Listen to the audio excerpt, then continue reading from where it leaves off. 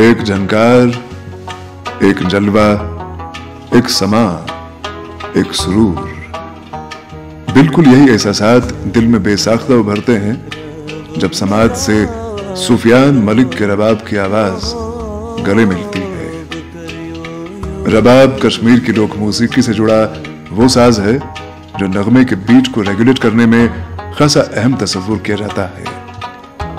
लेकिन डाउनटाउन श्रीनगर के नौशहरा इलाके से ताल्लुक रखने वाले सुफियान मलिक ने रबाब को इनफरादी हैसियत से पॉपुलैरिटी दिलाने में जो काम किया है, वो अपनी मिसाल आप है।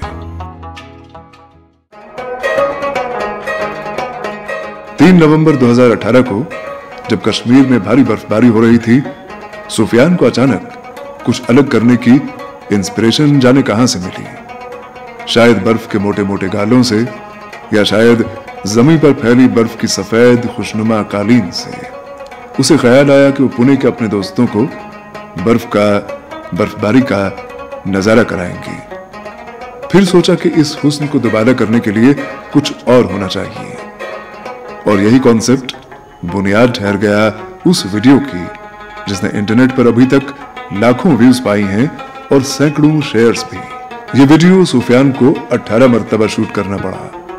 क्योंकि कड़ाके की ठंड के बायस रबाब के तारों पर उंगलियाँ ठहराना मुश्किल हो रहा था। आखिरकार सुफियान का जुनून जीत गया और संगीत से उसकी मोहब्बत का एहसास न सिर्फ़ पुणे में उसके बैचमेट्स को हुआ, बल्कि दुनिया भर में लाखों शहदाइयों को। सुफियान मलिक अगरचे सिर्फ़ 19 साल का नौजवान है, लेकिन रबाब से उसका रिश्ता कई बरस का है।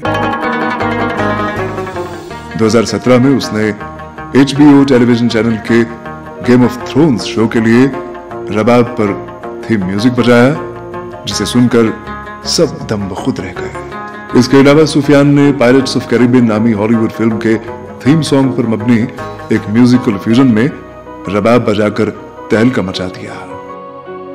रबाब के लघुवी माना है रूह की सदा, और सुफियान मलिक का रबाब सचमुच रूह की सदाओं का तर्जुमान है